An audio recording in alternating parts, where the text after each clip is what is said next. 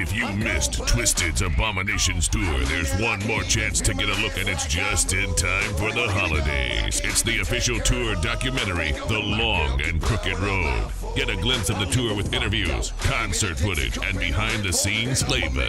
It ships December 17th, but you can pre order yours right now. Twiztid's The Long and Crooked Road. The official tour documentary, a Twiztid Shop exclusive. Order yours now at twiztidshop.com. Hopefully I control the opening. Give fuck about the way, cause I got my throat again.